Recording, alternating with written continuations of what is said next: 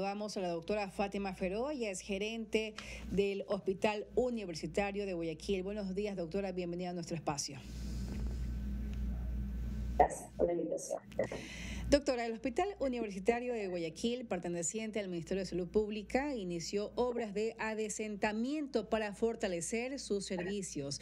¿Qué áreas serán las intervenidas y también las asignadas y qué tiempo principalmente está destinado para esta obra?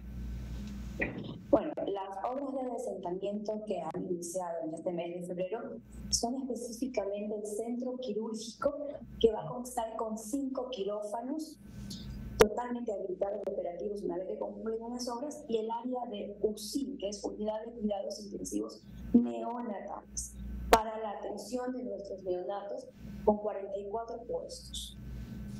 El tiempo aproximado de finalización de obras son aproximadamente 180 días, de acuerdo a lo que nos indica el cronograma de CIRCO. Doctora Ferro, en marzo del 2022 el Hospital Universitario de Guayaquil entró en una remodelación. ¿Esto forma parte de este proceso de repotenciación para un mejor servicio para los pacientes? Sí.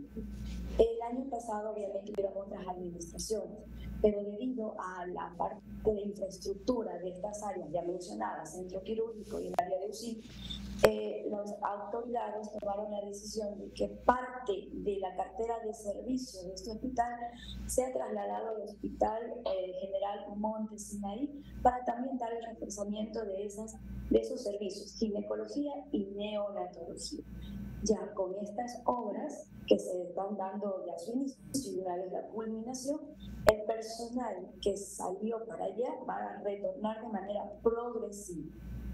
Doctora Feró, ¿estas mejoras vendrán quizás con un incremento en la capacidad, capacidad hospitalaria? Exactamente, sí. Eh, en la actualidad, eh, nosotros tenemos 22 eh, camas, que son las atenciones de las pacientes ginecobstetras.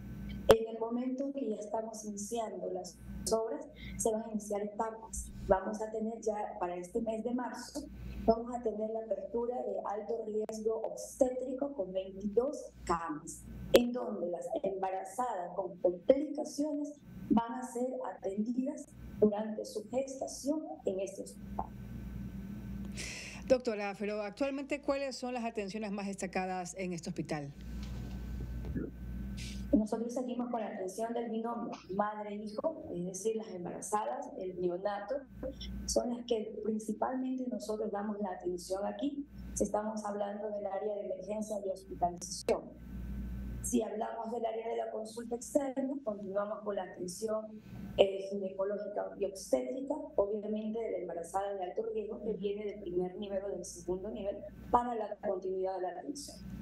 Y también tenemos atención cardiológica, mantenemos la atención de una unidad de atención integral para los pacientes que tienen VIH-Sida, eh, atención eh, de rehabilitación del piso pélvico para las embarazadas y las puérperas. Nosotros no hemos dejado de dar la atención, hemos continuado y seguimos brindando. Doctora, luego de este fortalecimiento de la infraestructura y principalmente lo que usted menciona, estas obras de adesentamiento, ¿qué agenda va a seguir más adelante el Hospital Universitario de Guayaquil? Bueno, este, una vez que ya estamos trabajando en fases, mencioné, una de las primeras fases va a ser la apertura de las 10, de las 22 camas para alto riesgo obstétrico. Vamos a tener la apertura también del área de básico neonatal para atender a los niños que salen de las áreas críticas y que necesitan continuar una recuperación. Y de ahí vamos a seguir aperturando más áreas para la atención obstétrica y neonatal de, de nuestros pacientes. Doctora, dentro de esta apertura de las áreas que usted acaba de mencionar, ¿qué pasa con el personal que trabaja ahí? ¿Van a incrementar más eh, enfermeros o quizás doctoras para asistir a los usuarios y pacientes? Bueno, eh, el personal que está en Montesinaí va a ir regresando de manera progresiva.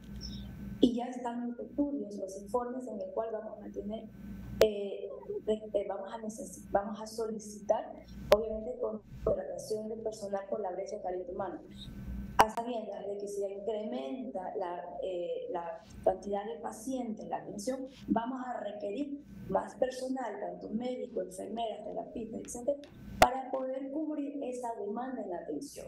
En eso ya estamos trabajando y hemos tenido toda la eh, coordinación con nuestras autoridades. De las edificaciones que están construidas dentro del terreno del recinto hospital universitario, ¿están actualmente al 100% o falta definir quizás más infraestructura para ustedes?